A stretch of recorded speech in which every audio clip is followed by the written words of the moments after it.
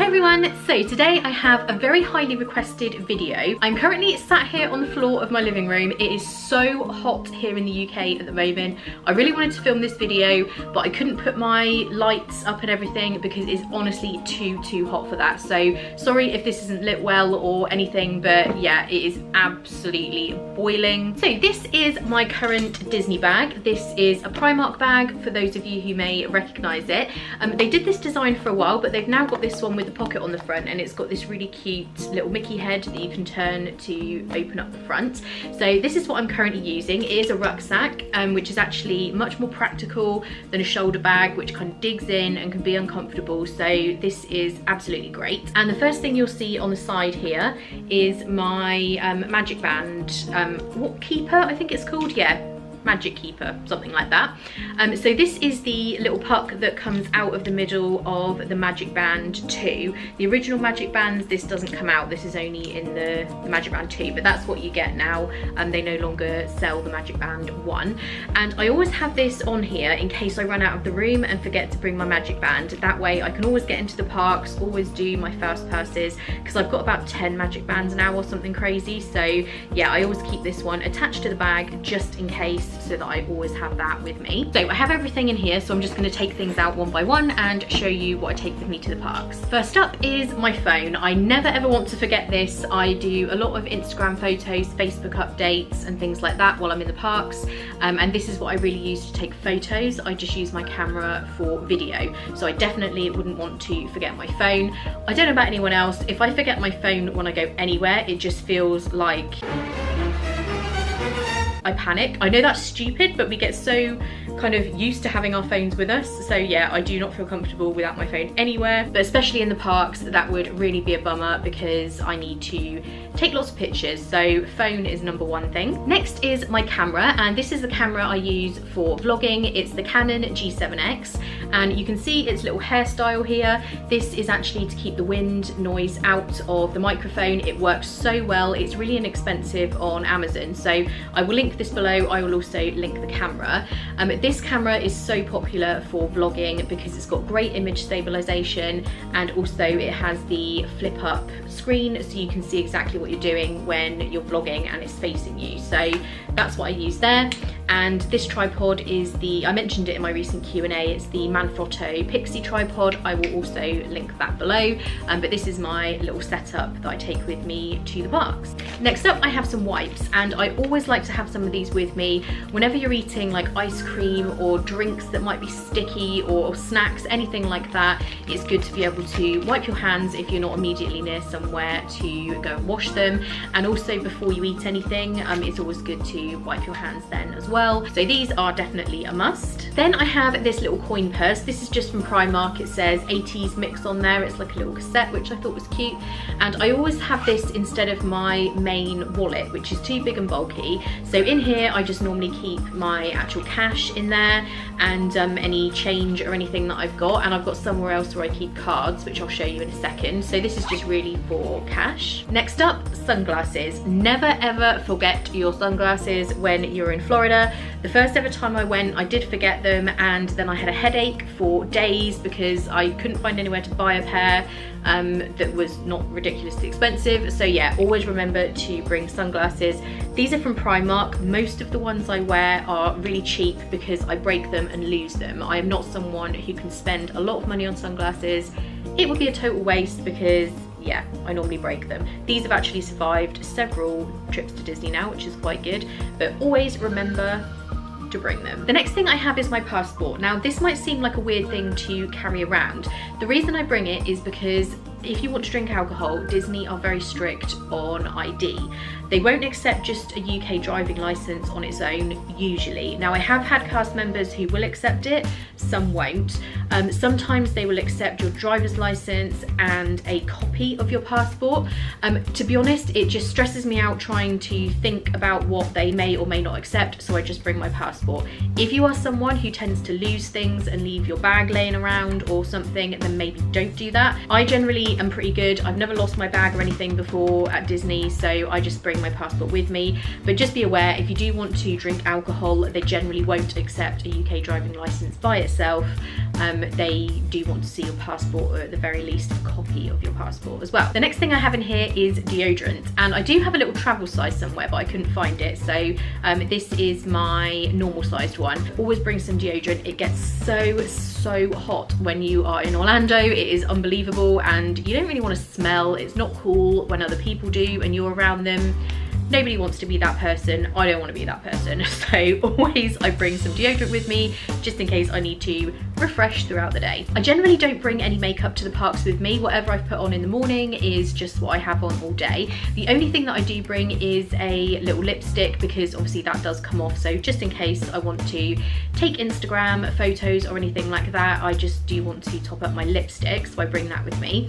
And the only other thing I bring are these little blotting papers um, that you can just take one out and just blot your nose and everything where you get a bit shiny and sweaty um, and that just kind of makes you look a little bit less melted with your makeup. So I do bring those two little items but that's the only makeup stuff I bring. I also have some paracetamol in here. In terms of things that I carry around first aid wise. Generally, I would just bring some painkillers, um, blister plasters. I don't have any of those in there at the moment, but I normally would bring some.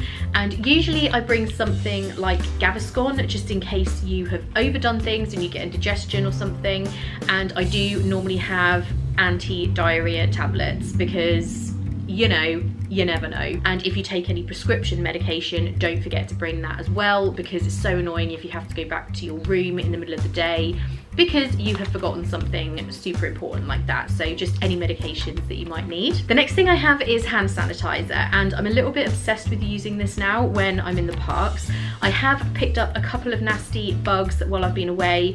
One was like a cold, a really, really awful cold, and I've also had a sickness bug. There are just so many people in the parks in Orlando. It is very, very hot and there are obviously a lot of germs around. You're touching surfaces all the time like handrails up and down stairs or when you're getting on and off of rides, anything like that where people could have left germs and it's just really really not good. It's so easy to pick something up. So before you eat anything if you're eating a snack if you're eating lunch just use some of this. Um, if you know that you've touched like say if you're going up and down stairs and you've touched railings and stuff like that just use some of this. It's well worth it. It is awful if you pick up a bug or something and then it can ruin your vacation. So hand gel just use it every time you think of it. Next up, very important, is sunscreen. And I don't have my regular sunscreen. I normally just take like a small factor 30 sunscreen to put on throughout the day and I put some on before I leave the room. I do also have my Malibu hair and scalp protector. So this is what you can spray onto your hair parting. I always get burnt there.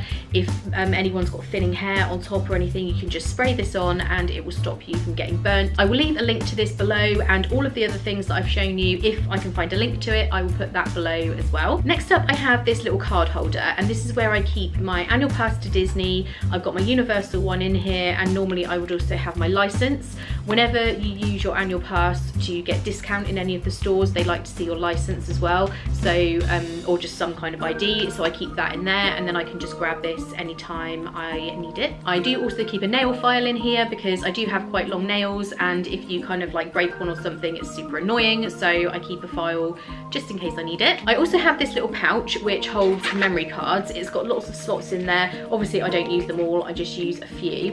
And also it, you can keep your batteries in there. It's big enough for me to keep four batteries, which is quite good. So I normally have four spare ones in here and one in each of the cameras because I've got two cameras. So I've got six batteries in total. And this is just perfect for keeping everything together and I can just grab it easily. And then once the batteries are used, I put them in the pocket in my bag so I don't get the used ones and the charged ones confused. I also have some chewing gum in here. So just a note about chewing gum. Firstly, if you do chew gum regularly, you will need to bring your own because they don't sell it anywhere at Disney for good reason because they don't want chewing gum stuck all over their beautiful parks and walkways. I'm sure none of you would ever spit chewing gum on the ground at Disney, but that is why they don't sell it anywhere. I don't really chew gum regularly, but sometimes obviously you might have had coffee or something and you just want to freshen up. And the final thing I have is one of my main survival items when I'm in the parks, and it is my little fold-away fan. So this is just one of the paper fans that you can get on eBay. I think you can get them them on Amazon. I will link them below if I can find them. They cost just like a couple of pounds or a couple of dollars. They're not expensive, but this is what I've found to be the most effective thing for keeping me cool. I've had battery powered fans, I've tried loads of different things, but this works perfectly if you are just kind of sat in a show or you're just walking around. This really, really is a lifesaver because sometimes you get overwhelmed by the heat and get so sweaty and hot. It folds away to practically nothing in your bag, but I cannot go around the parks without this. It is my absolute number one thing that I need in my bag. And the one thing that I do bring with me always that I don't have with me at the moment because it's in my owner's locker out in Orlando is my fuel rod. And a fuel rod is a portable charger which you can use with anything that has a USB. I basically use it for my phone so you just need to remember to bring your phone cable with you. And the way it works, you can buy one of these from the many machines in Disney. They have them in the parks, the resorts, Disney Springs. They are all over the place now. They cost around $30 which sounds expensive. Um, normally if you Google um, fuel rod discount code, you can find something online, a code somewhere to get you a couple of dollars off. Um, but once you've bought it, you can exchange it at any of the machines once it's run out and get a fresh one. So even if you need to change it over several times in a day or whatever, you can swap them in and out as much as you want. I'll insert a bit of footage here of me swapping one over. You just put it into the machine and out comes a fully charged one so you're ready to go again.